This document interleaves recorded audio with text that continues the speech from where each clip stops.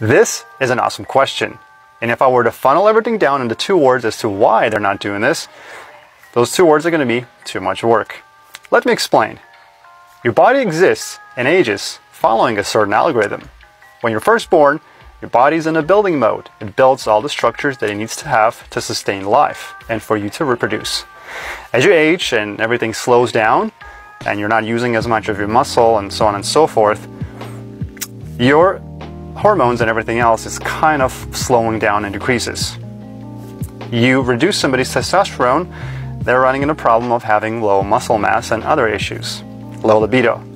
When you increase somebody's testosterone, among many other things, you increase somebody's cholesterol, you increase somebody's chances of getting cancer. Some people with sensitive BRCA2 mutations, for example, on the prostate, could get prostate cancer.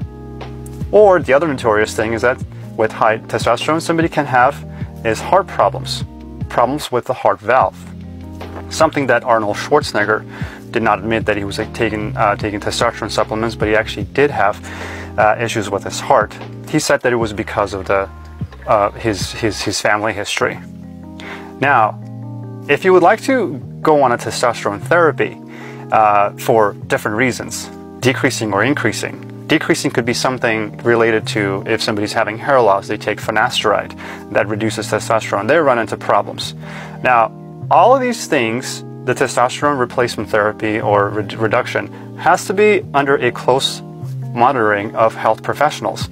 And I'm not just talking about endocrinologists, I'm talking about cardiologists and so on and so forth. So you need to have uh, blood tests every single time. This is what uh, bodybuilders do as well.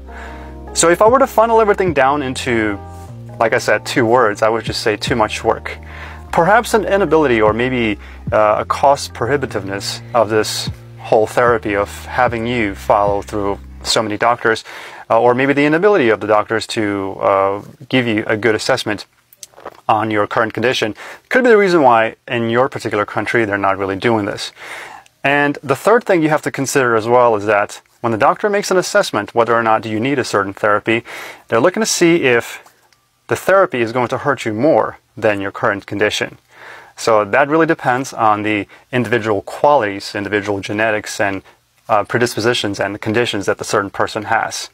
I hope this answers your question. If you guys find this interesting, consider following and leave a question down below so I can answer it for you.